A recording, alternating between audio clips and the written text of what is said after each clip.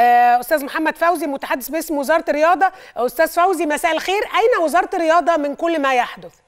مساء الخير عليك وعلى كل السادة المشاهدين. وزارة الشباب والرياضة موجودة. دكتور أشرف صبحي وزير الشباب والرياضة بيتابع كل كبيرة وصغيرة فيما يخص اتحاد كرة القدم وأيضا المنتخب. خلينا أتكلم أكلم حضرتك في ثلاث نقاط مهمين جدا ونوضحها برضو للسادة المشاهدين.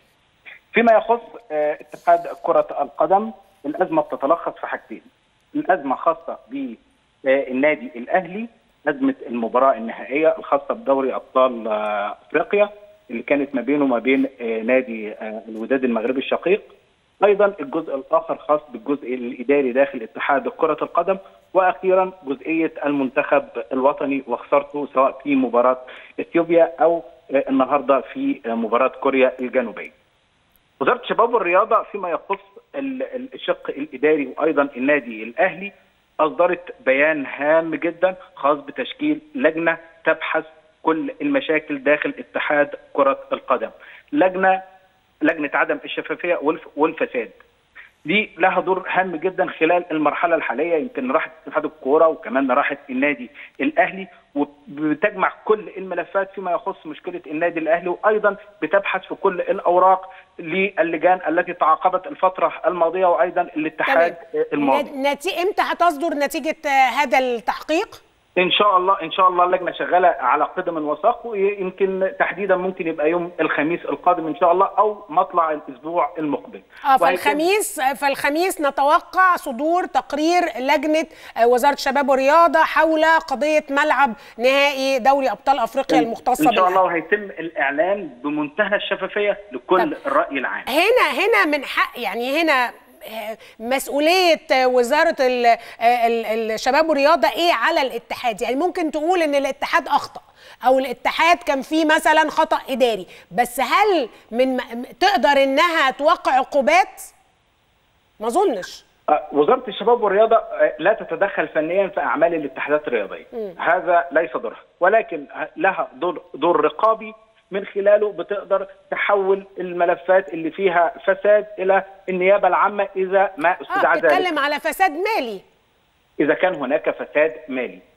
أي إذا كان هناك فساد مالي إحنا هنا بندور على ورقة راحت وما راحتش وإيميل حد شافه وما شافوش فده ممكن يبقى خطأ تحت يدرك تحت بند إهمال أو إهمال متعمد مثلا الاخطاء الاداريه أيضا الأخطاء الإدارية أيضا بيتم محاسبتها لأن آه لأن في إزاي بقى يا أستاذ؟ في مؤسسه في مؤسسة رياضية تضررت النادي الأهلي تضرر من هذا أنا فاهمة بس إزاي يتم محاسبتها؟ لأنه الاتحادات مستقلة، يعني الاتحادات مستقلة ولا يمكن إقالتها ولا يمكن توقيع عقوبات عليها علشان أنت عارف الفيفا واستقلالية الاتحادات. التحكيم الرياضي أو مركز التسويه هو المعني بالشق الرياضي أو ما يخص المشاكل الإدارية الرياضية الخاصة بالاتحادات والهيئات الرياضية.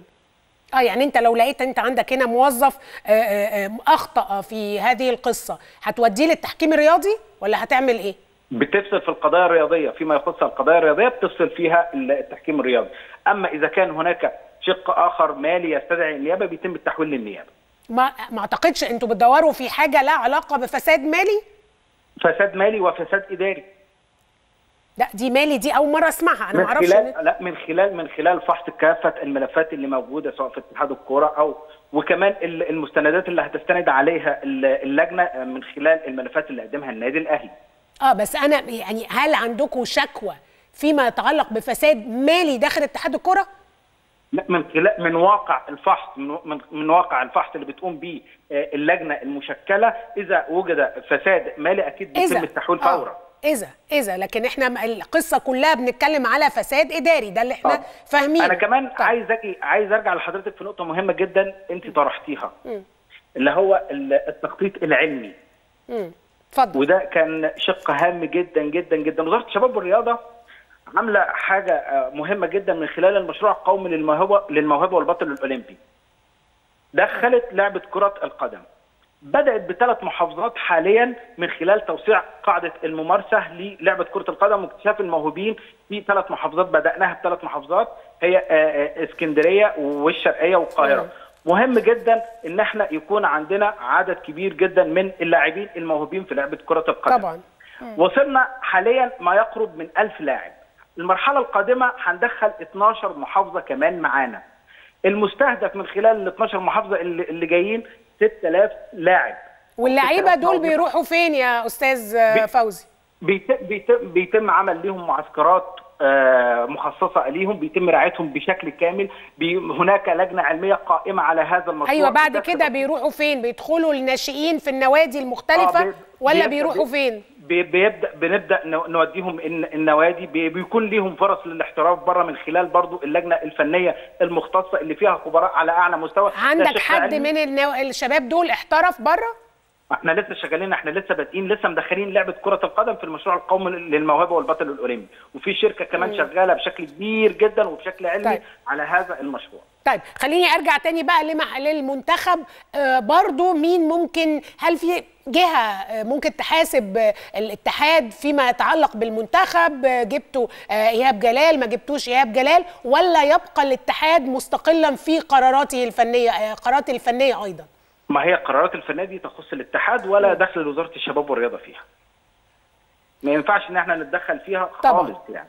طب هو الوزير هيقعد معاهم؟ أو يعني إحنا كان في أنباء إن الوزير هيستدعي الاتحاد أو هيقعد معاهم لمناقشة الملف. هل هذا دقيق ولا غير دقيق؟ خلال المرحلة المقبلة خلينا ننتظر آه، لجنة لجنة التحقيق اللي شغالة واللي شكلها سيادة الوزير.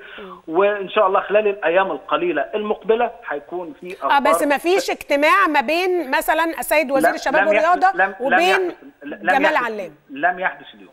وهل سيحدث خلال الأيام القادمة مثلا؟ متوقع ذلك إن شاء الله. يوم إمتى؟ خلينا بس ننتظر اللجنة هتقول إيه يوم الخميس. اللجنة ستعلن آه ده أهم حاجة. شكرا أستاذ محمد فوزي متحدث باسم وزارة الرياضة.